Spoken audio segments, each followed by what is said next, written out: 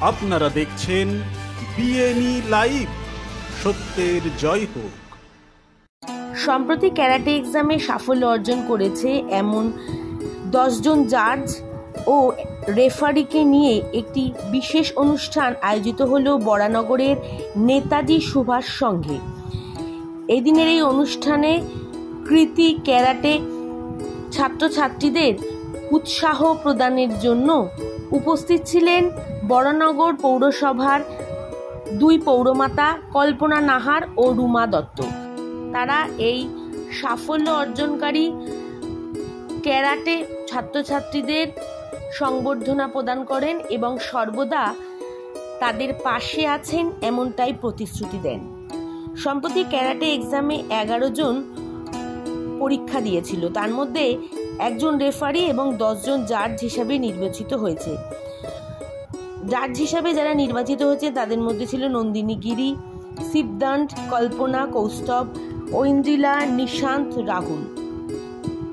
Referee হিসাবে নির্বাচিত হন ডব্লিউ এস এর প্রেসিডেন্ট ও chief technical director Anil Kumar Ram.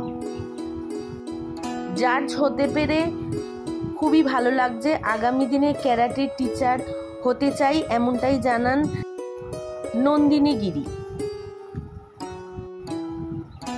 অল্প বয়সে এত সাফল্য পেয়েছে, তাই খুব ভালো লাগছে। প্র্যাকটিসের জন্যই এমনটা সম্ভব, এমনটাই জানান ডব্লিউ এস এর প্রেসিডেন্ট অনিল কুমার রাম। সেলফ ডিফেন্সের জন্য ক্যারাটে একটি গুরুত্বপূর্ণ। বর্তমান সমাজে প্রত্যেকেরই তাই ছেলে মেয়ে নির্বিশেষে ক্যারাটে শেখা উচিত। বিশেষ করে মেয়েদের সেলফ ডিফেন্সে ক্যারাটে বেশ উপযোগী। তাই মোবাইল ছেড়ে ক্যারাটে শেখার উপদেশ দিলেন ডব্লিউ এস কে এফ এর প্রেসিডেন্ট অনিল কুমার রাম। গোটা বিষয়টি নিয়ে ডব্লিউ এস কে এফ এর প্রেসিডেন্ট অনিল কুমার রাম আমাদের মুখোমুখি হয়ে কি বললেন? আসুন শুনুন।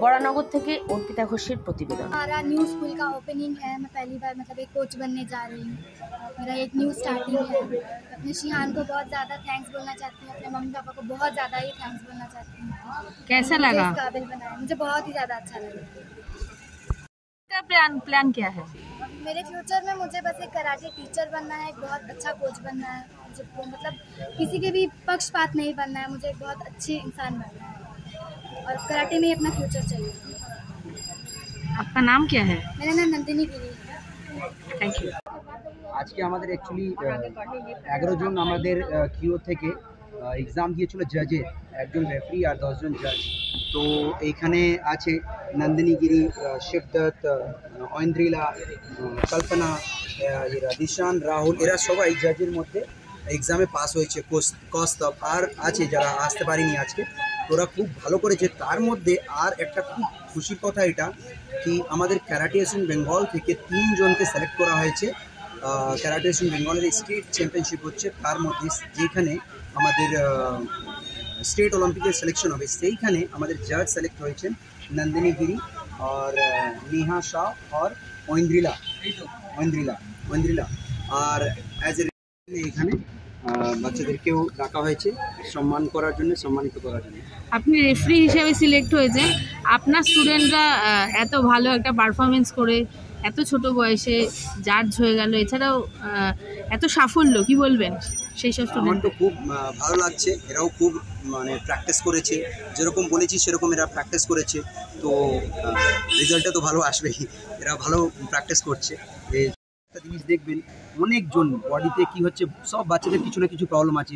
রিজন একটাই সবাই মোবাইল নিয়ে বেশিক্ষণ থাকছে। তার থেকে ভালো হবে ওই মোবাইলের গেম থেকে বাচ্চাদেরকে দূর করে এই গেমে আনা। তাহলে বেস্ট হবে ক্যারাটেটা যদি সবাই মিলে করে ওটা ভালো হবে সবার আজকে আমরা দেখলাম আপনার মহিলা স্টুডেন্টরা এতটা সাফল্য পেয়েছে। মহিলাদের আত্মরক্ষার ক্ষেত্রে ক্যারাটে কতটা জরুরি? আমাদের একাডেমিতে আপনি দেখতে পারবেন বেশি মেয়েরাই আছে। আর খুব ভালো করে ওরা প্র্যাকটিস করে। তো মেয়েদের জন্যে হোক ছোট বাচ্চা হোক, বড় হোক, সবার জন্য খুবই ইম্পর্ট্যান্ট আমি সব জায়গায় প্রায় আমি বলি কি, মেয়ে হোক বা ছেলে হোক, সবার জন্য সেলফ ডিফেন্স তো সবার জন্যই খুবই ইম্পর্টেন্ট রাস্তায় যাচ্ছি, ছেলেদের সঙ্গে তো চাকু নিয়ে কারোর কিছু হতে পারে। তো তার জন্যে আমি যদি সেলফ ডিফেন্স আগের থেকে করে রাখি, শিখে রাখি, তাহলে আমাদের ফিউচারটা তো ভালো হবে। অনেক আপনার কি মেসেজ থাকবে? যারা নিউ কামার আসছে যারা আছে মানে অনেকজন ভাবেন কি এইটা করলে কি হবে, ওইটা করলে কু- হবে। যদি এটা ভাবতো, তাহলে এরা আজকে জাজ হতে পারতো না না কোচ হতে পারতো, না ভালো প্লেয়ার হতে পারতো। এরা আজকে ভালো ভালো জায়গা খেলতে যাচ্ছে স্টেট চ্যাম্পিয়নশিপ ন্যাশনাল চ্যাম্পিয়নশিপ তো এই জিনিসটা যদি এদের মা বাবাও যদি ভাবতেন, তাহলে হতো না। তো আমরা চাইব কি সবাই যেন এখানে আসেন, সবাই পার্টিসিপেট করে খেলে প্র্যাকটিস করলেই আস্তে আস্তে আস্তে যাবে। যদি আমরা পুকুরে যদি না নামি, তাহলে তো আমরা সাঁতার কাটতে শিখব না। আগের থেকে যদি ভাবি কি আমি ওইখানে পুকুরে আমরা ভেসে যাব, ডুবে যাব, তাহলে তো শিখতে পারব না কোনো দিন শিখতে পারব না। যদি শিখতে হয় তাহলে আসতে হবে গ্রাউন্ডে আসতে হবে, খেলতে হবে, মাটি বডিতে লাগবে, তাহলে ভালো হবে।